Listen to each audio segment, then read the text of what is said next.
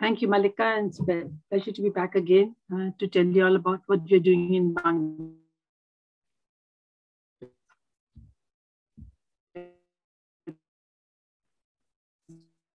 with those CV. Um, many of you know that Bangladesh is, a, as Jan pointed out, that if you need to eliminate cholera, you have to take it out of Bengal, which is very true.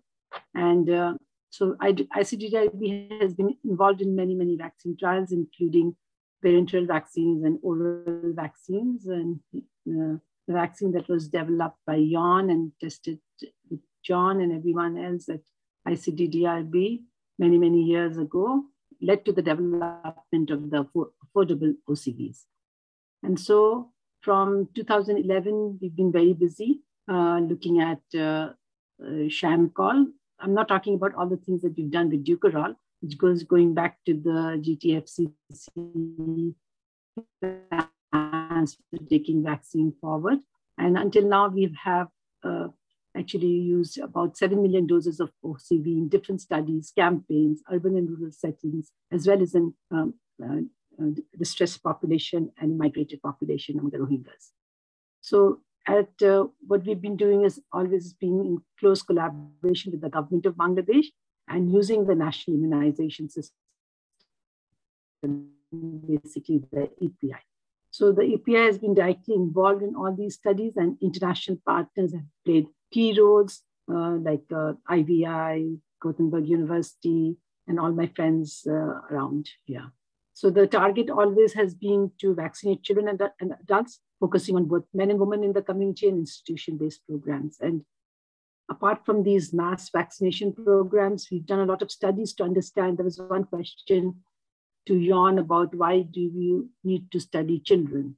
why the children, why the vaccines don't work so well in younger children. And we have all these studies with uh, uh, with Gothenburg University and with Mass General Hospital, Harvard University, trying to understand these differences, including uh, recently the conjugate vaccine.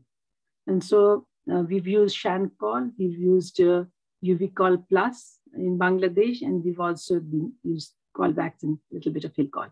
So if you summarize the OCV vaccination experience in Bangladesh, it's been uh, uh, the mass vaccination 240,000 period where we showed how feasible it was to use cholera vaccine under normal conditions. We did have a wash arm um, and a control arm, but the wash arm had you know chlorine water treatment and hand washing, uh, something that did not turn out to be very practical and also did not appear to be um, giving us better effectiveness than the vaccine alone.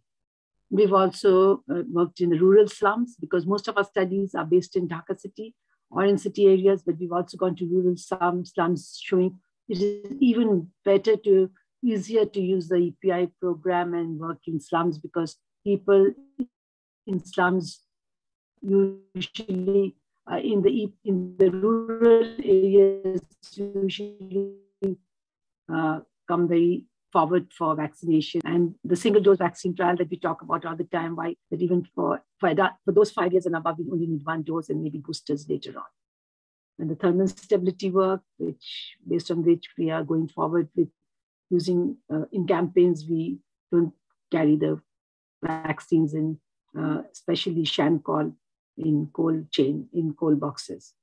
Um, we also have evaluated uh, the impact of a two-dose regimen of Shanchol in children 1 to 14 years of age residing in the slum.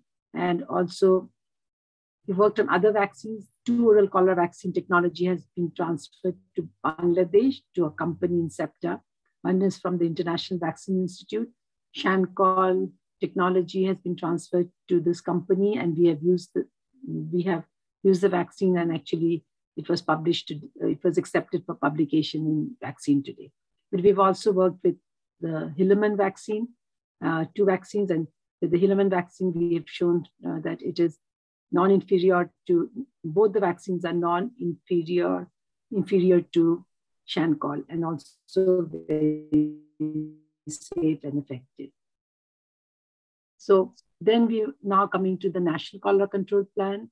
We have uh, carried out the large demonstration project in six thanas in Dhaka city uh, just before the pandemic and have vaccinated 1.2 million people in this vaccination strategy. It was actually remarkable how people from all strata of life came for vaccination to our uh, vaccination sites. And in the end, we finished up the 1.2 million people and had to turn back people from and could not give them the vaccine. There was so much eagerness. Um, with the pandemic, everything stopped, and our national control plan has not gone forward. I talked about it day before yesterday also, and I've been talking about it a lot. We are very worried. Um, but uh, if we consider how much vaccine has been used in Bangladesh and successfully, the most important success, I would say, is the implementation of the vaccine among the Rohingya population uh, in 2017, as soon as these be- the people from Myanmar relocate, had to relocate to, Bang- to Dhaka, to Cox's Bazar. And here there we have used 4.1 million uh, doses of the vaccine between 2017 and 2021. And there haven't been any epidemics, no outbreaks uh, among the among this uh, uh population. The host population have also been vaccinated. This was a requirement by the WHO that people living close to the FDMNs were just as at risk as the others. And most recently, just now in the pandemic time, we have vaccinated between uh, October to November, not November to December, sorry. October to November, we've used both Shanchol and Euvichol Plus and vaccinated people. So based on this, I think OCV acceptance, OCV plans are okay, but the pandemic has actually completely distracted uh, uh, the, the policymakers. So, but uh, based on what we need for Bangladesh, we project the requirement. Um, I was just listening to the discussions over the last two days, and from 2013, there has been to the GTFC to the for the from the vaccine from the OCV stockpile 178 million requested. Since 2013, 132 million has been approved. In 2021, uh, 35 million doses were requested and 30 million approved. And in Bangladesh, we, based on our uh, surveillance, based on the high risk population, uh, we will need 173 million doses in the next six years. And six, six years, although our plan was to finish the target of vaccination in the National Control Plan by 2025. We've had a, massive delay in our plans. And so I would say the next six years, we will need 150 million doses to, um, to vaccinate about 80 million people who are at risk. Now, OCV production, as I learned, was uh, Sanofi would stop Shanchol production from 2023. EuBiologics, I saw, was stepping up on OCV production, and a lot of doses will be produced. Bharat Biotech Tech is going on with the phase three studies on Hillchol. We did a phase one, phase two non-inferiority in Bangladesh, which is very successful. And I'm very happy to hear that Bharat, Bharat is taking this forward and uh, phase three trial will be carried out in India. But uh, we have in Bangladesh Incepta producing Cholvax, and they are ready to, they already have bulk uh, 100,000 doses, which they would can make into finished products immediately if the government wants it but they also have uh, plans for the use of Cholvax by the by GOB. When the national control, control plan was made, it was that the locally produced vaccine will be used.